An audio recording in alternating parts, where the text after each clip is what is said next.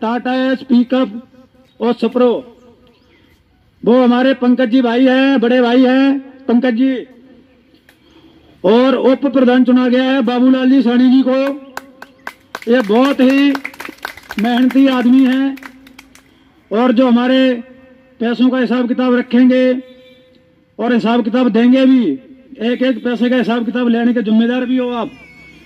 वो हमारे ये बड़े भाई हैं मनोज बालिया जी और हमारे एक अभी कोई सामान ले लेने गए हैं अनिल सैनी जी उनको महासचिव बनाया गया है जी।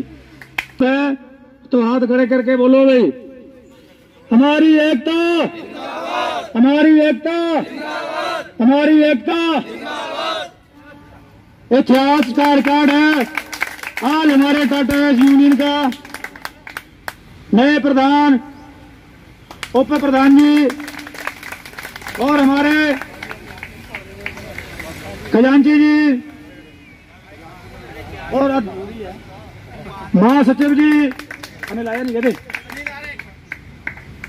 हमारे ये लीडर चुने गए हैं और इनके नंबर आप लोग सब जने कांटेक्ट करना। कोई भी समस्या हो, कोई भी दिक्कत हो, ये साथियों, आप जुड़ चुके हैं सिरसा की आवाज़ वेब चैनल के साथ। इस वक्त मैं मौजूद हूँ सिरसा के पास, सिविल हॉस्पिटल के पास, पार्क के अंदर।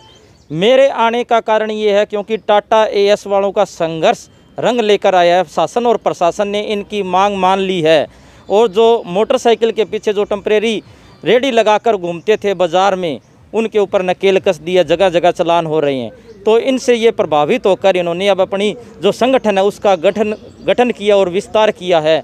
तो इस संगठन के जो नए नए प्रधान बने हैं, जो पंकज जी हैं, पंकज खुराना जी से, उनसे मुलाकात करते हैं। सबसे पहले तो हम बधाई देते हैं आपको और सबसे पहले आपका क्या दायित्व रहेगा और आप अपने जो संगठन के प्रति क्या कर्तव्य निभाएँगे? जी, मेरी तरफ़ से पूरी कोशिश रहेगी कभी भी इनको, भी मेरी तरफ़ से इरीटेट ना हो, कभी किसी की तरफ़ से। जो इनके साथ जो से होगा, वो मैं करूँगा। और सबसे बड़ा मकसद हमारा है कि हम जो मोटरसाइकिल के जो पीछे रेडियन से बना रखी है, उनको बंद करवाना, सबसे पहली बात। जो भी होगा जो मैं अपनी तरफ़ से पूरा करूँगा। बस। ये उप प्रधान का दायित्व जो बाबूलाल सैनी जी को दिया गया है इनसे पूछते हैं कि आप अपने दायित्व को कैसे निभाएँगे पूरे संगठन में आप कैसे अपनी जिम्मेवारी निभाएँगे? मैं पूरी निष्ठा और पूरे विश्वास के साथ इन भाइयों का साथ दूँगा। जब भी इनको ज़रूरत पड़ी उसी टाइम मैं हाजिर होने की हर संभव प्रयास करूँगा। ये खजानची का भी इनसे भी पता करते हैं कि ये कैसे अपने दायित्व को निभाएँगे। पहली बात तो ये कि मैं शर्मा जी का बड़ा आभारी हूँ कि इन्होंने हमारे लिए दो तीन बार टाइम निकाला और जहाँ इनको बुलाया गया, वहाँ ये हाजिर हुए। सिरसा की आवाज़ का मैं धन्यवाद दी हूँ और मैं इस बात का दावा करता हूँ कि जो भाइयों ने मेरे को दायित्व दिया है, जो मेरे ऊपर विश्वास जताया है, उसको मैं पुरजोर कोशिश करूँगा कि एक एक पैसा ईमानदारी के साथ इनको हिसाब दिया जाए और जहाँ जो पैसा लगेगा, वो कोई भी भाई इतने मेंबर बैठे हैं, मेरे से हिसाब ले सकता है, कभी भी आके।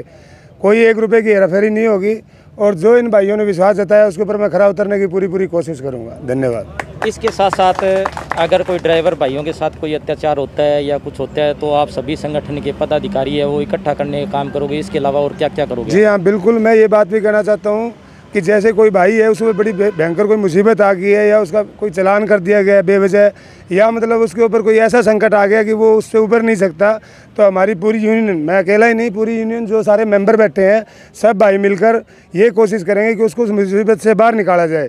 अगर उसको कोई एक बार ज़रूरत भी पड़े, कोई दो पैसों की भी तो कोई दिक्कत नहीं है, हम उनके साथ हैं, पीठ नहीं दिखाएँगे। ठीक है जी? तो ऐसी कोई दिक्कत नहीं है, आप हमारे साथ हो, हम आपके साथ हैं।